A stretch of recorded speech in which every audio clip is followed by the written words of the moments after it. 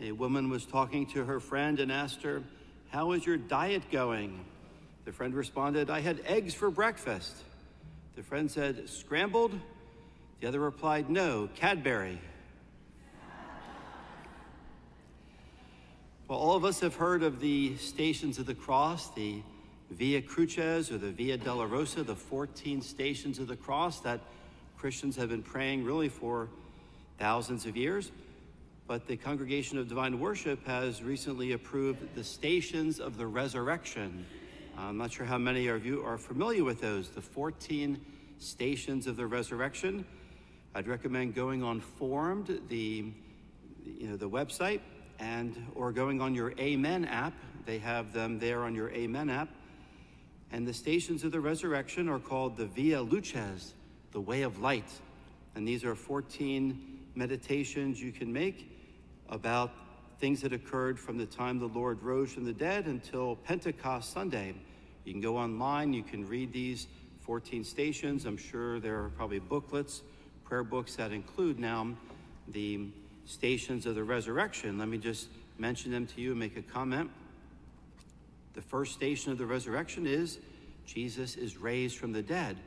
We know that occurred early Sunday morning, the first day of the week, where the Lord came back to life and was risen from the dead and passed through the shroud, walked right through the sealed tomb, and began to, well, certainly the first person he went to was his blessed mother.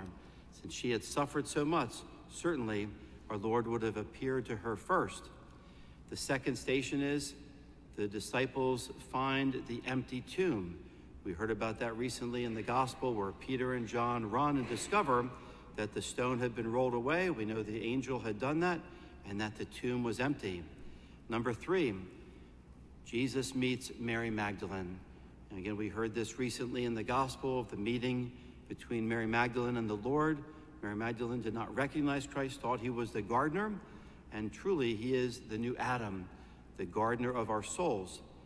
Number four, Jesus appears on the road to Emmaus. That's today's gospel. The two disciples are walking along. Uh, Cleopas, also known as Clopas, and a disciple that is unnamed. Some people speculate that it was his wife, Mary, the wife of Clopas, which makes sense that they were going home going back to their home in Emmaus. Plus, the fact it mentions that they were arguing, so that proves that they were a married couple. Number five, Jesus is recognized in the breaking of the bread. And we heard that in today's gospel. Jesus, at, after he had explained to the followers of Christ, to these two disciples, that everything in the Old Testament that relates to the Lord, then it says he planned to go further, but they said, No, come in and eat with us. So he went in, and it was when he took the bread, said the blessing, broke the bread, that is Eucharistic language, it says they recognized him in the breaking of the bread. Number six, Jesus appears to the disciples in Jerusalem. That occurred the night of the resurrection. All the disciples are there except for St. Thomas. So Jesus even though they were locked in the upper room, Jesus walked right through the locked doors because he is a glorified, resurrected body. And he showed them his hands and feet. And he said to them, you know, a ghost does not have you know, hands and feet like I do. And so he showed that he truly was alive. Number seven, Jesus breathes on the apostles and gives them his peace and the power to forgive sins. You see, he breathed on them, giving them the Holy Spirit, and said, Whose sins you forgive are forgiven them, whose sins you retain are retained. They were the first bishops of the Catholic Church. They passed that power on to other bishops and to priests for these past 2,000 years. And the, the ability to absolve sins was given by Christ the night of the resurrection. Number eight, Jesus strengthens the faith of St. Thomas, the doubter. This was the following Sunday, Divine Mercy Sunday. Jesus appeared again in the upper room. This time Thomas was with them. He allows Thomas to touch the wounds in his hands and his side and says, No longer persist in your unbelief, but believe. And then he pays all of you a compliment by saying, Blessed are those who have not seen and yet believe. Number nine, Jesus appears to the disciples at the Sea of Tiberias. He told the apostles to meet him in Galilee. So they meet along the Sea of Tiberias. The apostles get bored, they go out fishing. They catch 153 fish after Jesus tells them to cast the nets on the other side. They pull in this catch of fish. Jesus is at the shore making breakfast for them at a charcoal fire.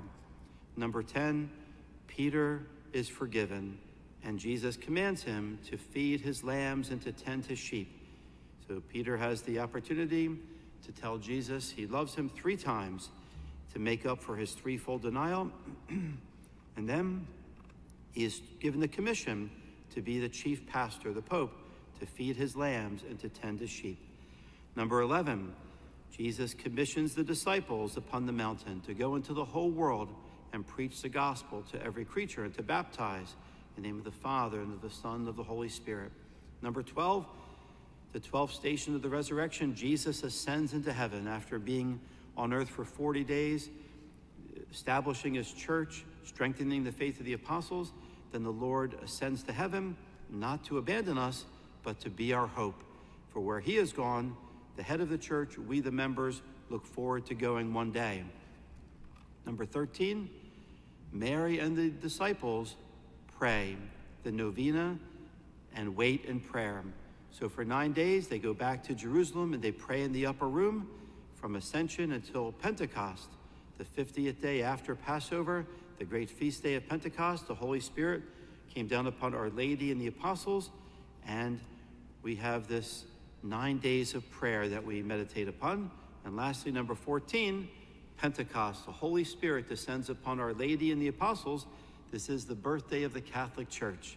Just as Our Lady had to be present at the birth of Jesus, she had to be present at the birth of the church. So, Mary, truly the mother of Christ and the mother of the church. So, those are the 14 stations of the resurrection, the Via Lucis, the way of light. So, I encourage you during this octave and during the Easter season, at least once a week, make the stations of the resurrection.